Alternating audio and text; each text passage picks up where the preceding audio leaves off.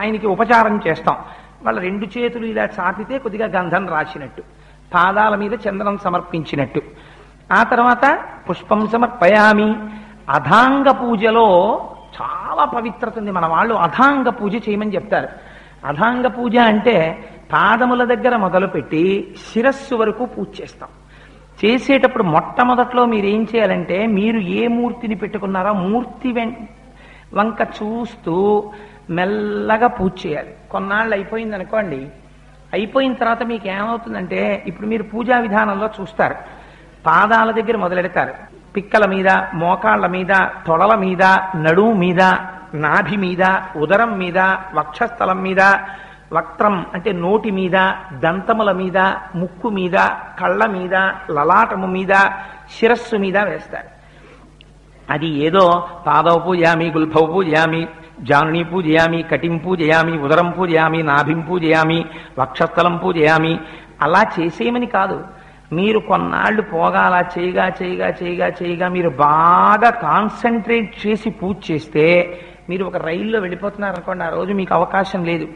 మీరు సూర్యకిరణాల వైపు కొంతసేపు చూస్తూ అలా కూర్చుని ఆదిత్య హృదయం చేస్తే మీకు స్నానం చేసిన ఫలితం వచ్చేస్తుంది. శాస్త్రం అంగీకరించింది.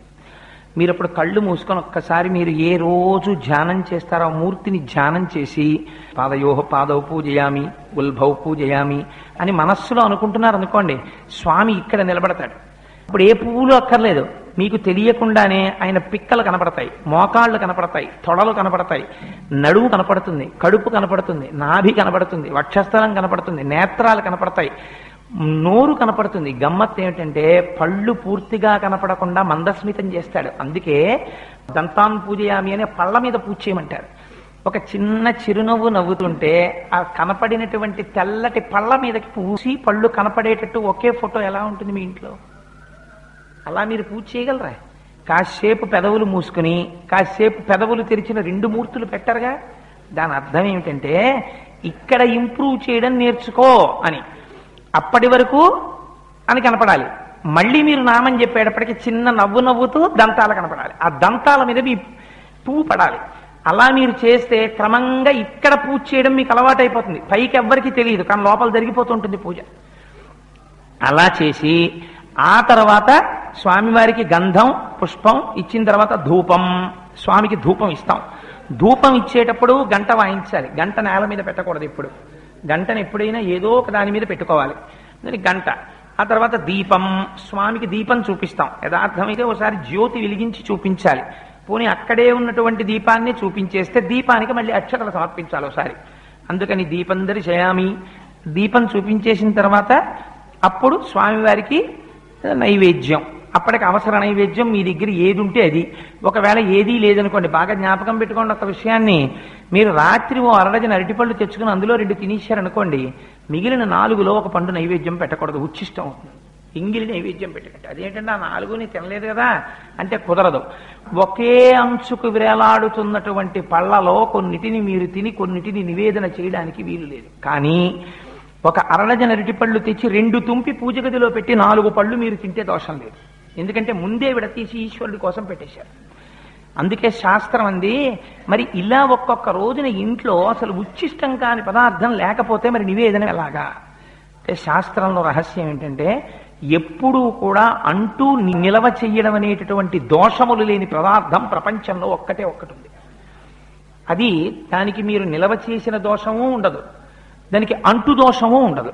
అటువంటి పదార్థం ఒక్కటే బెల్లం ముక్క.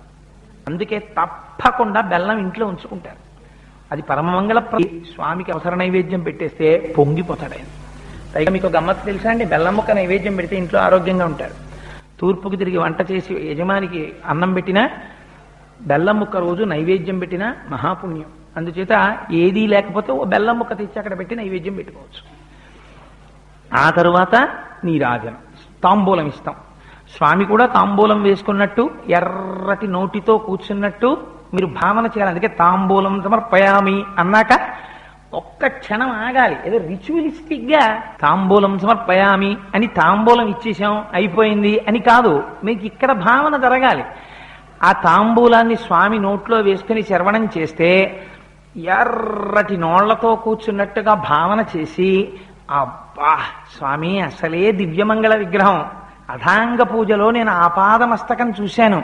నా కనురాపు తగిలిందో ఏమిటో అని బెంగ పెట్టుకుని కళ్ళమ్మట నీళ్ళొచ్చి నీరాజనం ఇవ్వాలి స్వామికి. నీరాజనం ఇచ్చేటప్పుడు ఇష్టం వచ్చినట్టు తిప్పకూడదు. ఇవాళ మీరు నీరాజనం ఇచ్చేటప్పుడు అందరూ కలిసి నీరాజనం ఇస్తే ఈ హాల్ ఎలా ఉంటుందో మీరు ఊహ చేద్దరు కానీ కానీ జాగ్రత్త మీ ఎదుటి వాళ్ళ వస్త్రానికి కానీ మీకు కానీ అంటుకోకుండా చూసుకోండి. మీకు రెండు ప్రమిదలు ఇచ్చారు. అందులో ఒక ప్రమిద దీపం వెలిగించుకోవడానికి. ఒక ప్రమిద నీరాజనం ఇవ్వడానికి. ప్రమిదలో నీరాజనం ఇచ్చేటప్పుడు కర్పూరం బిళ్ళని కొంచెం అవతల వైపుకు పెట్టుకోండి. సో దట్ మీ మీదకి ఆ తేజస్సు కాంతి ప్రసరించకుండా ఉంటుంది. కొంచెం చేతి మీదకి రాకుండా జాగ్రత్తగా పట్టుకుని ఇవ్వండి నీరాజనం ఇచ్చేటప్పుడు పాదముల దగ్గర నుంచి శిరస్సు వరకు తిరగాలి. సగానికి తిరగడం కుదరదు. నీరాజనం ఇచ్చేటప్పుడు నడుము వరకు తిప్పడమో గుండెల వరకు తిప్పడమో చెయ్యకూడదు. ఆ తిప్పడం కూడా అందంగా పాదాల దగ్గర నుంచి శిరస్సు వరకు చూపిస్తూ నీరాజనంలో చూడాలి. నీరాజనపు వెలుతురులో మీరు ధ్యానం చేసినటువంటి మూర్తి యొక్క పాదములు మీరు ఏ వస్త్రం ఇచ్చారో ఆ వస్త్రపు కాంతులలో మిరిసిపోతున్నటువంటి పాదాలు మీరు ఇలా తిప్పుతుంటే నీరాజనం ఆ నీరాజనం వెలుతురు పడుతుంటే మీరు అధాంగ పూజ చేశారు కనుక అది మానసికమైనటువంటి అనుభూతి. ఇలా తిరుగుతుంటే ఎడం పక్క నుంచి మొట్టమొదట స్వామి వైపుకి ఎడుతుంది కాబట్టి నీరాజనం.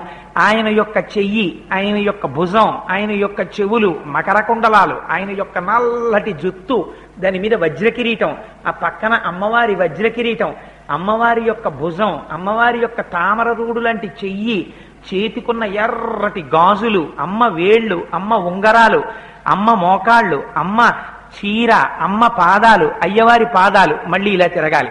తిరిగేటప్పుడు మళ్ళీ నుదురు వాళ్ళు మెరిసిపోతున్న కాంతులతో మూడోసారి పాదాల దగ్గరికి వచ్చి దర్శనంలో తన్మయత్వాన్ని అనుభవించి ఎంత తొందరగా కర్పూరం ద్రవస్థితిని పొందకుండానే వాయుస్థితిలోకి వెళ్ళిపోతుందో అంత తొందరగా మీ మనస్సు లయమైపోయే అదృష్టాన్ని మీరు కోరుకోవాలి. కోరుకుని అక్కడ పెట్టి నీరాజనానంతరం శుద్ధ ఆచమనీయం సమర్పయామి. ఇంత తేజస్సు తగిలింది స్వామి నీకు దాహం వేసిందేమో. అని కొద్దిగా మళ్ళీ నీళ్ళు ఇవ్వాలి ఇచ్చి తదనంతరం మంత్రపుష్పం. చేసిన తర్వాత మనం ఓపికంటే చక్కగా ఎప్పుడైనా ఓ వెండిదో చిన్న ఏనుగు ఓ వెండి చిన్న గుర్రం ఓ చిన్న ఉయ్యాల ఇవన్నీ కొనుక్కుంటే మీరు ఇంట్లో చక్కగా రాజోపచారాలు కూడా చేసుకోవచ్చు. చామరం వీజయామి అని చక్కగా చామరంతో స్వామికి వీయచ్చు. ఎందుకంటే చామరీ మృగం యొక్క వెంట్రుకలకి ఒక గమ్మత్తుంది. ఆ చామరీ మృగం యొక్క వెంట్రుకలతో చేయబడినటువంటి చామరాన్ని స్వామికి చూపిస్తే దాంతో కానీ గాలి వీస్తే ఎంత అలసట పొందిన వాడికైనా సరే ఆ శ్రమ తీరుతుంది. అందుకే గజేంద్ర మోక్షంలో వర్ణిస్తారు ఆ చామరీ మృగాల గురించి.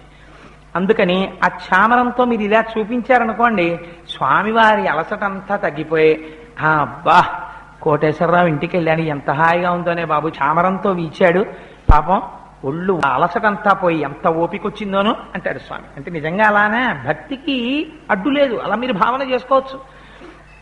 తర్వాత మంత్రపుష్పం. మంత్రపుష్పం జ్ఞానంతో పూర్తి అంటే అక్కడున్నవాడే ఇక్కడున్నవాడు అన్న ఏకాత్మతా భావనతో మీరు పరమ సంతోషంగా నన్ను ఎవరేం చేసి ఇక్కడే ఉన్నాడు భగవానుడు వాడే అన్నీ చేయిస్తున్నాడు అన్న భావనతో వెళ్ళిపోతారు.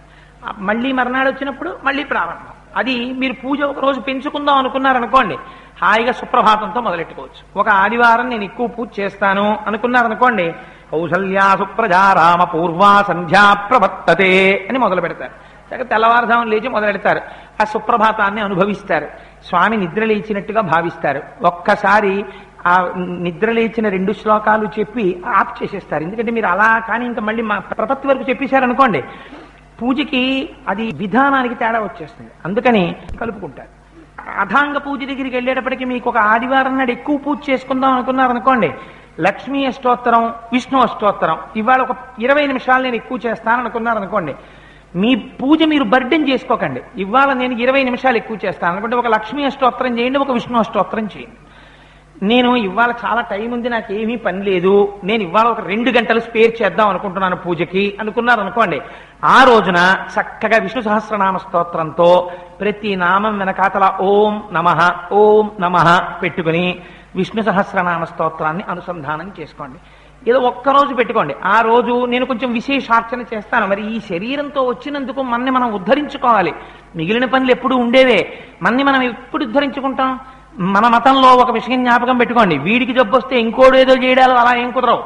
ఏదో కాకపోతే ఆరాధన చేయొచ్చేమో వెళ్ళి అయ్యా రక్షించని అడగచ్చేమో. కానీ మిమ్మల్ని మీరు రక్షించుకోవాలంటే మీకు మీరు ముందు చేసుకోవాలి పురుషార్థం. అందుకని మీకు మీరు ఎప్పుడు చేసుకుంటారు?